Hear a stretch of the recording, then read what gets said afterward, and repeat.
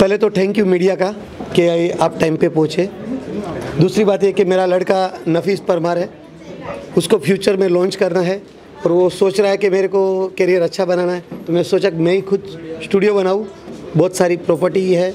वो open property के अंदर भी हम सेड भी लगा सकते हैं।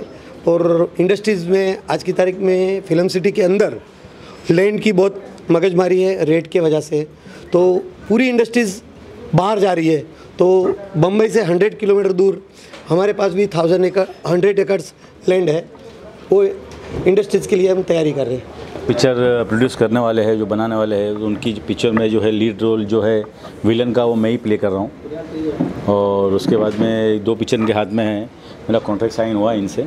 इंशाल्लाह, अल्लाह चाहे तो इंशाल्लाह बहुत जल्दी फ़िल्म हम लोग लॉन्च करने वाले हैं। उसकी पार्टी भी आपको देंगे, आपको इन्वाइट करेंगे, आप आ जाना। पिक्चर का लॉन्चिंग तो अभी मेरे ख्याल से तीन चार महीना लगेगा। अभी उसकी स्क्रिप्ट पे पूरा काम हो रहा है उसके। और हम लोग ने अभी फाइनल नहीं किए कि कौन एक्टर है और एक्ट्रेसेस है विलन और छोटे बड़े जो एक्ट्रेस लोग का है वो सब हम लोग का डन हो चुका है। बस बहुत जल्दी आपको तीन एक चार महीने में आप लोग इन्वाइट करेंगे अच्छी जगह पार्टी रखेंगे। तो आप लोग ज़रूर आना भाई।